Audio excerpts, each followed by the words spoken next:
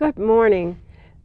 Today we're going to look at how to measure and record fluid intake. This is something that you will do with every meal as a CNA when you're working in long-term care. You'll do this a lot in hospital care in all different kinds of situations. So um, it's really a very simple process. It just takes a little bit of getting used to. Now, one of the things you have to remember in order to make this easy for us, um, most facilities, institutions have pretty standardized sizes of um, cups, mugs, bowls. So throughout the institution, those will be the same size. Now, this isn't necessarily perfectly to scale, but um, let's say this is a 10 ounce glass, and this is a 6 ounce glass. And here's our fill line. Most of these things uh, are manufactured actually to make it a little bit easier for us. Um, they have a design on the glass uh, ridges or something that tells us what the fill line is without being actually marked. Um, so that you do have a pretty standard reference. Now, when people are served their meal, they are always served a full uh, serving size. So when they get a four ounce glass on their tray, it has four ounces of fluid in it. It's filled to the same full mark um, as uh, four ounces. And everything comes out of the serving kitchen as a full serving. And so you pretty much know what your standard serving sizes are. So this is an eight ounce coffee mug or tea, okay? Now, we have um, ounces here with our containers, but when we record, you are always going to record your amounts as milliliters on your recording sheet. So we have just a little bit of um, conversion to do. So let's just fill these things up and convert these to milliliters so that we have a good idea of what our 100% start is, okay? Because we always start with what was served. We have to have some kind of starting point for calculating what got inside them, okay? So our 100% is what was served coming out of the kitchen.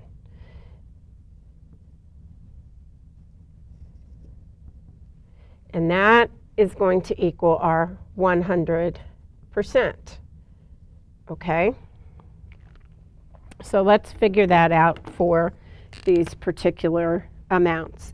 So if we have a 30 ml conversion factor we're it, we can make this really easy. We're going to multiply by 3 and add a 0 to that number.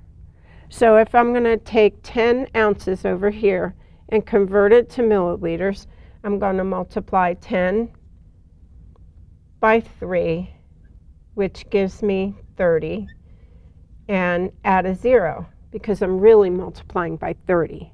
So 300 mLs is my conversion factor when this is all filled up as a 100% serving. Okay, so let's do six ounces. So here we have six times three equals 18. Add a zero, and that gives us 180 mLs. Okay, so that's a full six ounce serving, 180 mLs. Okay, Now, four ounces, I think you're getting the drift of this. So you have four times three equals 12 and add a zero. So that's 120 mLs. And you will get very used to this. Once you've done this a few times, um, this will become very automatic to you and it won't be a problem. Okay, some of you already may be familiar with um, these equivalents and have been using them already. Um, so this really isn't like doing calculus. A lot of students worry, you know, when we say, oh, there's a little bit of math involved here, okay, but you can do this. You can do this. You can multiply a number by three and come out with the correct amount. So we have this coffee mug or tea or hot chocolate or apple cider. This time of year, apple cider is pretty good since it's getting to be winter. So eight ounces times three, this is all filled up, okay? Eight times three equals 24. Add a zero, and we get 240 mLs. Okay? So that's basically what the person started with, fluid-wise, coming out of the kitchen, along with their solids. But we'll come back and do solids another time. Today we're just going to focus on liquids. All right, so let's add this up and find out what does our 100% equal. Okay, so we have 300 mLs plus 180. So that's going to give us 480 over here. Okay. And then we have plus 120 to 40. That's going to give us 360. Yes? Yes. Okay. 360. So then we take 480 times 360 and 0, 14, carry the 1. Okay, so we have 0, 6 and 8 are 14, carry the 1. 4 and 3 is 7. And so our total, if my arithmetic is correct, is 480 mLs. Okay, that's our 100%. We know the person got that on their tray, on their meal tray. And so what we're going to do is compare everything to what they got served. Now, the only way that we can tell what they got inside them, what they drank, what their intake was, is we look at what was left behind on the tray. Did they drink all of this? Did they drink part of the container? Did they, you know, uh, drink none of it?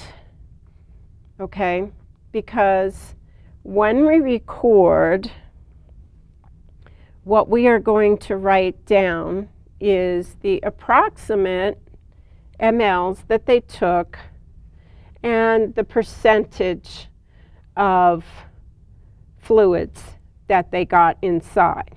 So let's just do a benchmark figure here of um, what 50% would be if they drank half of this container. So if they drank half of their fluids, 50% is going to equal um, 420, correct? 420 mLs.